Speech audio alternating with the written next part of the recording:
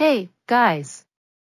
Get ready for some holiday magic because Hallmark Channel is dropping a brand new original movie called Our Christmas Mural, starring the incredible duo Alex Paxton Beasley and Dan Jeannotte. This movie is set to premiere on November 26 at 6 p.m. Eastern Time slash Pacific Time as part of the countdown to Christmas movie lineup, and let me tell you, it's going to be a festive treat. Now, let's dive into what you can expect.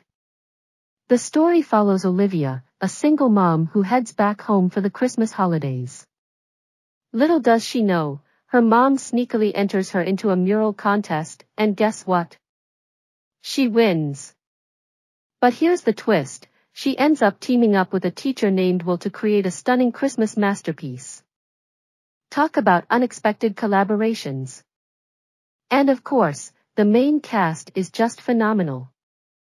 We've got the talented Alex Paxton Beasley and the charming Dan Jeannotte taking the lead roles, and if their chemistry off-screen is anything like what we'll see on-screen, we're in for a real treat.